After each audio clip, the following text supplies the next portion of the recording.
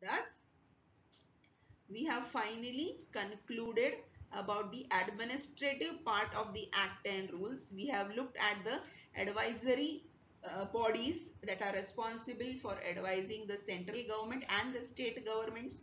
We have looked at the analytical support provided to the Act and rules by CDL or Drug Control Laboratory that is DCL or government analyst and the people work or executives who execute the uh, machinery who execute the work that is required for administration of the act and rules at the ground level which includes people who are authorized to be license authorities people who are authorized to be controlling authorities and finally the most important one which we will study somewhat more in detail that is drug inspectors. So our focus now in the next two or three slides is on drug inspectors, a very important category of people who are responsible for ensuring that quality is maintained not only in pharmaceutical organizations but also in pharmacy shops and that is drug inspectors. So let us move forward and understand who is a drug inspector, what are his functions and what is it that what is his responsibility.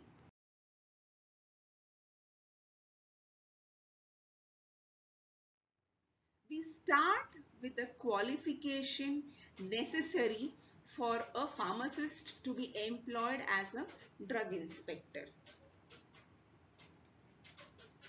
The person should be a graduate in pharmacy or pharmaceutical science or medicine with specialization in clinical pharmacology or microbiology.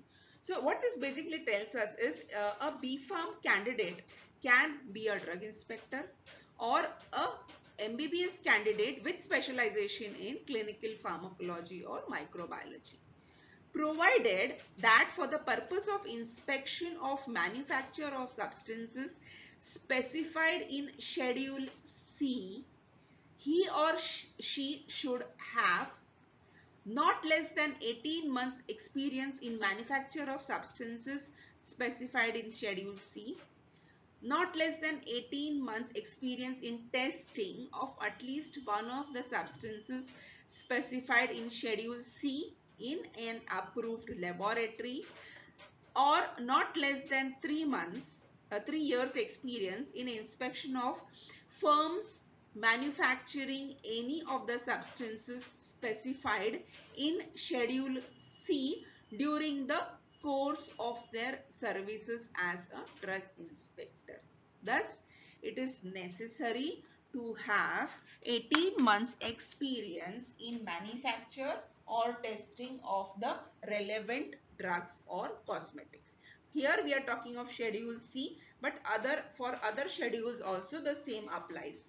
So 18 months experience in manufacturing or at least 18 months experience in testing or 3 years experience in inspection of manufacturing firms. What are the powers of the drug inspectors? The drug inspectors have the power to inspect and take samples of the drug or cosmetic. Now remember I told you about the duties of the government analyst where they are supposed to test the samples that are sent to them. So who sends the samples to them? One of the examples of people who send samples to them is the drug inspectors. And why do they do that? Because they are empowered to not only inspect the premises but they are also empowered to take samples. So let us see that in more detail the drug inspector can inspect any premise in which drug or cosmetic is being manufactured. They can inspect any premise where the drug or cosmetic is being sold, stocked, exhibited or offered for sale or distributed. Thus, they have the powers to inspect the manufacturing, the storage, distribution, warehouse and the final point of sale that is the pharmacy shop. They are also empowered to take sample of any drug or cosmetic which is being manufactured. So they can take it at the site of manufacture or at the site of sale or where it is stocked or where it is exhibited or offered for sale or is being distributed. So from any of the locations that they inspect, they can take samples. Also, they can take samples from any individual who is in the course of conveying, that is delivering or preparing to deliver such a drug or cosmetic to any purchaser or consignee. So you can see the drug inspector has a very big responsibility of inspecting, analyzing, evaluating the premises where drugs and cosmetics may be manufactured or stocked or sold or displayed or exhibited or distributed. While doing so, they can take up samples and send for analysis. Drug inspectors also have the power to search any person in connection with an offence at all reasonable times. They have the power to enter and search at all reasonable times any place or premise in which he or she has a reason to believe that an offence is being committed. They also have the authority to stop and search any vehicle or conveyance which they believe has been used for carrying any drug or cosmetic in respect of which an offence is being or has been committed right? So they have the powers to search person premise vehicle where they, they where they believe there is a reason to do so. Because some crime has been committed is being committed or will be committed the drug inspector has the power to give order in writing to the person in possession of the drug or cosmetic in respect of which offence has been committed or is being committed and what is the order they will give not to dispose the stock of such a drug or cosmetic for a specified period but less than 20 days. They can also seize these stocks. So we saw in the previous two slides that the drug inspector has the authority to inspect. The drug authority has, uh, the drug uh, inspector has the authority to collect samples. The drug inspector has the authority to stop crime from being committed by inspection, by seizing the stocks and also they can give in writing to a person who is in possession of such uh, controversial stock of drugs or cosmetics that the stock cannot be disposed of. They can seal it. Following which if necessary they can examine any record, register, document or any other material object which is found while carrying out the above exercise and seize these documents if they believe that there is a evidence of committing an offence. also, they exercise any other powers as may be necessary for carrying out their duties under the D&C Act and rules.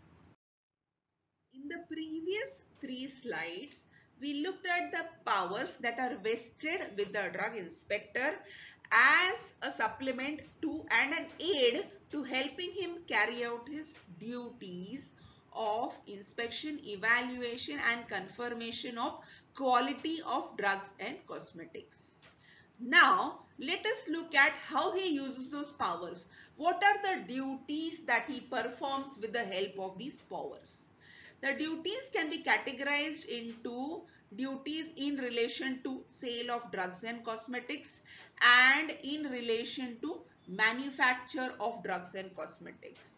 Remember, I told you that a drug inspector evaluates not only the pharma manufacturing facility but also the pharmacy shop. This is because his duty is to ensure the implementation of the provisions of the D&C Act and rules both during manufacture and say as well as sale of drugs. When I say manufacture of drugs, I also refer to manufacture in the sense manufacturing and packing, storage and distribution of drugs and warehousing of drugs. So all activities, general activities pertaining to uh, that are carried out before the sale of drugs and cosmetics comes under the manufacture of drugs and thereby the manufacture and sale of drugs is under the purview of the drug inspector and it is his duty to inspect the premises of the manufacturer or seller to ensure implementation of D&C Act and rules. So let us learn more about it as we move forward. What are the duties of the drug inspector in relation to sale of drugs and cosmetics? The drug inspector will inspect at least once a year all the establishments licensed for sale of drugs in the area assigned to him or her and check whether the conditions of licenses are observed or not if the drug inspector thinks necessary to obtain and send samples of imported drugs and cosmetics for test or analysis, those especially those which are being sold or stocked in contravention of the provisions of the act. It is the duty of the drug inspector to investigate any complaint that has been made in writing to him and it is the duty of the drug inspector to institute prosecution where there is a breach or of the act and rules. Thus, the drug inspector has a, uh, performs his duty of inspection of premises whether it is manufacturing premises or selling premises. If necessary, he collects samples of drugs especially uh, the imported drugs and cosmetics sends them for evaluation.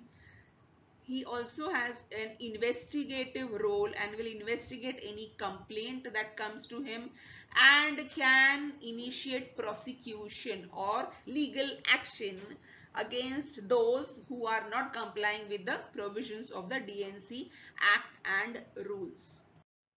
So, what are the duties of the drug inspector in relation to sale?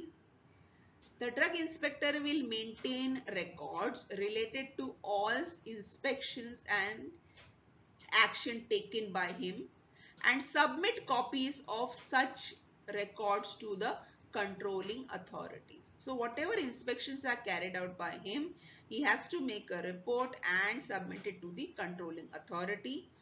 Uh, he makes inquiries and inspections regarding the sale of drugs in contravention of the act. So this is these are the duties uh, that he carries out in pharmacy shops. Also, it is his duty to detain that is to hold back the imported packages if he suspects that they contain drugs that are banned in the country. Okay, this could be medicinal drugs or otherwise. So these are the uh, duties that the, the drug inspector carries out in relation to the sale of drugs and same similar applies to cosmetics. Let us look at the duties of the drug inspector in relation to manufacture of drugs and cosmetics. So what is it that he does as far as the manufacturing of drugs and cosmetics is concerned is the drug inspector inspects at least once a year all the premises licensed for the manufacture of drugs within the area allotted to him and will satisfy himself whether the conditions of the license and the provisions of the act and rules are being observed or not. Also, he or she inspects the premises licensed for manufacture of drugs specified in Schedule C and C1 and observes the process of manufacture, means employed for standardization which means testing and testing of drugs, storage conditions, qualifications of technical staff employed and all details of location, construction, administration of the establishment, any of which, any and all of which may affect the potency or the purity of the product. So a very important role played by the drug inspector in relation to manufacture of drugs and cosmetics involves his inspections of the manufacturing premises and it is not only premises he also looks at the actual process the means and methods of testing the storage conditions qualification of the people who are performing the duties as well as location construction administration and so many other aspects of the drug manufacture. After each inspection, the drug inspector sends a detailed report to the controlling authority about whether the conditions of the license and the provisions of the Act and rules are being observed. The drug inspector, as, as we discussed earlier, is empowered to and as a duty, as his duty, takes samples of drugs that are manufactured on the premises and sends them for testing or analysis to the state drug control laboratories or the central drug control laboratory wherein the government analysts test them. It is his duty to ch uh, check all records and registers and any documentation that is supposed to be maintained about the drug or cosmetic within the organization or the shop and he can initiate prosecution if there is any breach of the act and rules. It is important to note that if any person deliberately, willfully obstructs an inspector in the exercise of the powers conferred on him under this chapter or refuses to cooperate and does not produce records, registers or other documents which are asked for then he or she shall be punishable with imprisonment which may extend to three years or fine or both. So remember a drug inspector is a government officer who is carrying out his duty and obstructing him, not cooperating with him is a very serious offense leading to imprisonment up to 3 years or a suitable fine or both. Therefore, the drug inspector carries out his duties very seriously because of the powers conferred to him, his overall responsibility and his duty towards the safety and health of the uh, people, of the patients at large. And at the same time the manufacturing firm takes their responsibility of maintaining the quality, safety, efficacy of the medications very seriously and cooperates fully with the drug inspector and other authorities to ensure safe and efficacious drug. Let us now look at the procedure in which the drug inspector carries out his duties. We start with the first step where the inspector enters the premises or the manufacturing premises or the premises from where sale of drugs is carried out. Any, the inspector takes a sample of the drug or cosmetic. At that time, he has to tender the fair price and require and take a written acknowledgement therefore. So inspector cannot randomly pick up or demand that the sample is given to him. He has to buy the sample at the market price and also take a receipt for it because he has to produce this in court if he if and when he files a case. Where the price tendered and is refused or where the inspector seizes the stock of any drug then he shall tender a receipt in the prescribed form. Now it may so happen that the shopkeeper may not cooperate with him and may refuse to take money, refuse to give a receipt. In such a case, the inspector has the authority to seize the stock but when he does so, he shall produce a receipt for it. So where an inspector takes a sample of a drug for the or cosmetic for the purpose of testing or analysis, he shall intimate such a pur purpose in writing in the prescribed form to the person from whom he takes it. And in the presence of such a person shall divide the sample into four portions and effectively seal and suitably mark and permit such a person to add his own seal and mark to any or all of the portions so sealed and marked. To tell you in very simple words, the drug inspector will pick up adequate number of samples and after picking up those samples of that product, divide them into four separate parts identify them by writing on the cover or making some packets, four different packets on which he will write as well as permit the shop or the manufacturing location for, uh, uh, responsible authority to also write or mark in his own way, right? So what has the inspector done so far? He has entered the premise, he has taken a sample of the drug and he has either paid for it and taken an invoice or he has sealed or he has seized the stock and he has produced a receipt.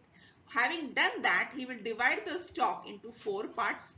He is going to identify them with separate identity marks and he will add his own description on it and he will allow the person from whom seizure has taken place to put his own identification on it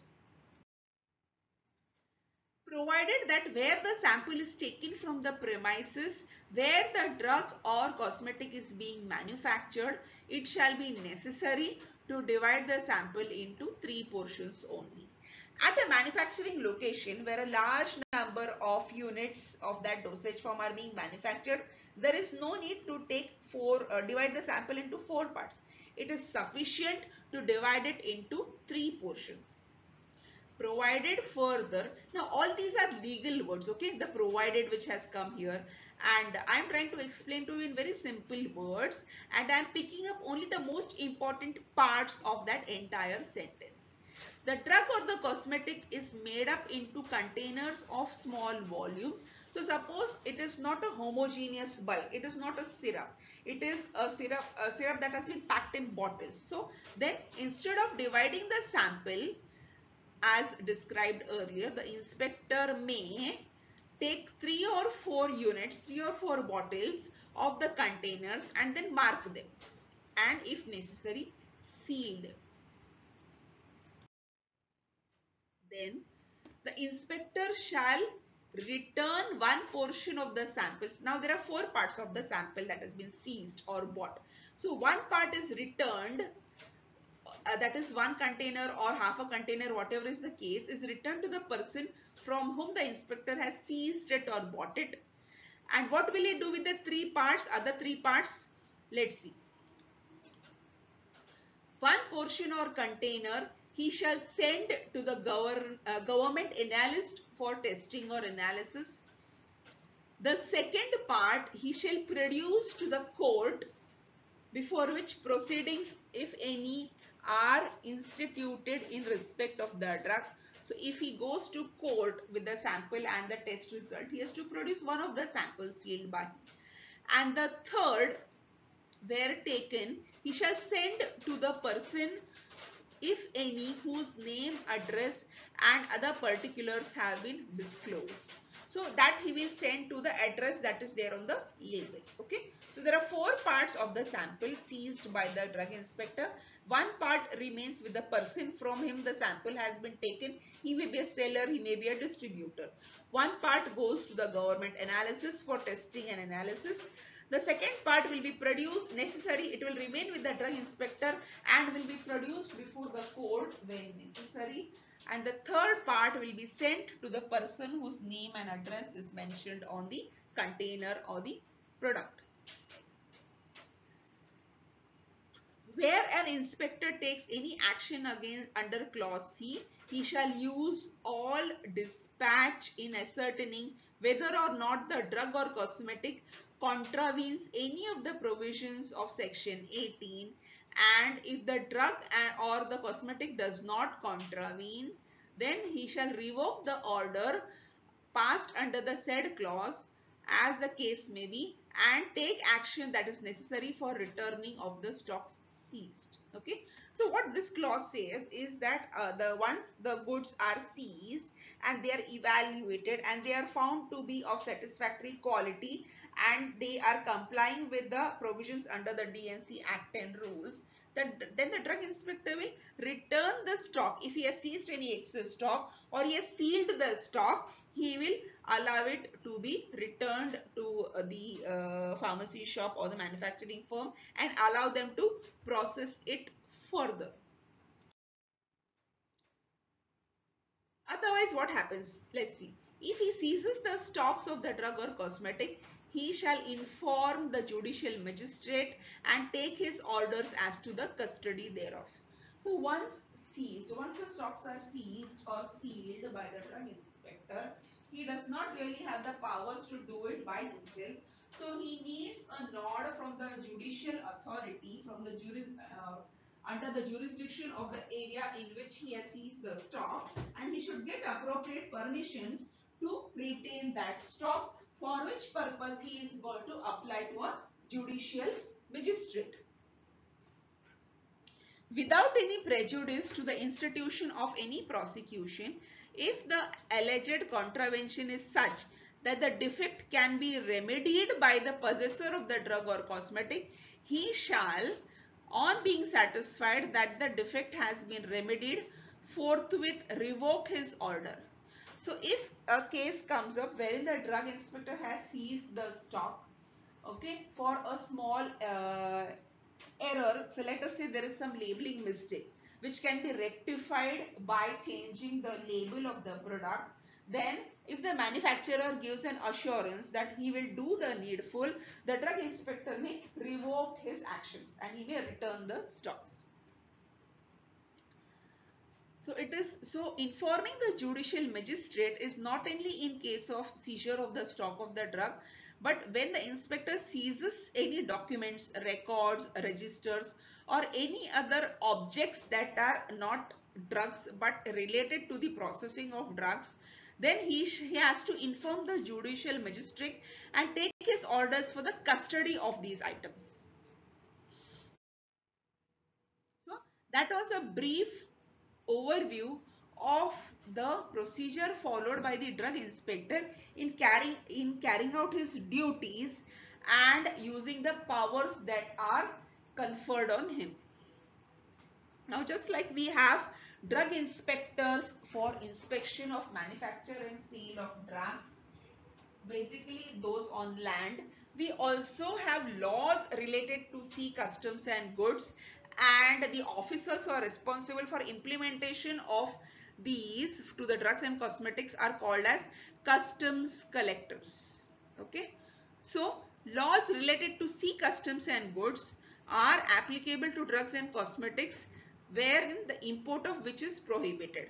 So if the customs collector in the while doing his duty has reason to doubt if the drugs that are coming in by the sea route are complying or not with the provisions of the act and rules, he may and that too if requested by an officer appointed by the central government take samples of any drugs in the consignment that has been imported by sea and forward them to the director of CDL Central Drug Laboratory and may detain the drugs in the consignment of which the samples have been taken until the report of the director or any other officer empowered by him approves the sample okay so whatever rules and regulations are applicable to drugs, imported drugs on land, similar rules and regulations are to be implemented for drugs that are imported by sea and the necessary due powers are uh, uh, lie with the customs collectors.